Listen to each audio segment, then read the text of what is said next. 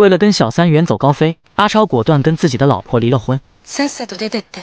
他直接净身出户，以为这样就能跟小三双宿双飞。可由于净身出户没有钱，阿超也只能跟小三搬进了廉价的出租屋里。只不过让两人在意的是，身后的这个柜子看样子年代似乎有些久远。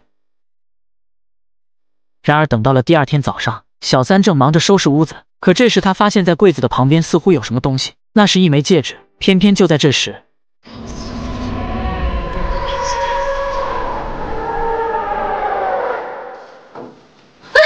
看到是阿超回来了，小三这才松了一口气。可等到了一周过后，別れたいの。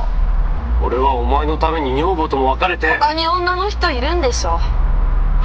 原来自从那天捡到戒指以后，小三每天都能在柜子旁边捡到女人的首饰。他怀疑那是阿超的情人留下的，于是便果断离开了对方。事后，阿超看着小三给的首饰发起了呆，因为自己压根就没有情人了。然而就在这时，身后却传出来了有人说话的声音。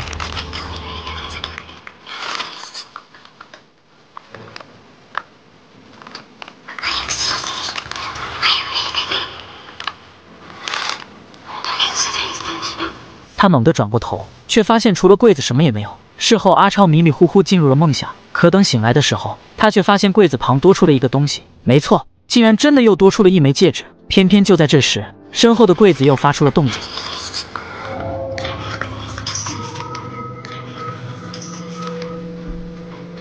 这下阿超再傻也意识到了不对劲，他战战兢兢地朝柜子后面看了过去，结果下一秒，